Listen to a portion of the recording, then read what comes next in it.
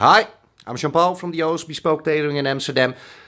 Just was checking out some interesting reads with the Gentleman's Gazette online, Raphael, and it was about split yokes. And I must say, I agree with the guy. Normally, I was um, quite doubtful about people giving comments who are not technically savvy themselves, but this was a very good one. It was about shirt making and the so-called yoke.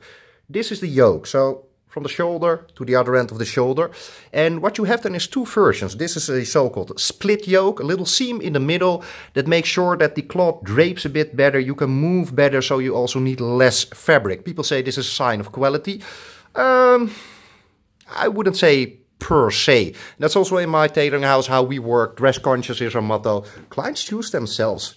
You know, if you want that, man, I'm gonna fix that for you. Of course, I will tell you about the effects, etc. and try some things out. This is a single yoke. So this is what you normally see with the average shirt. And the other one is a split yoke. Good.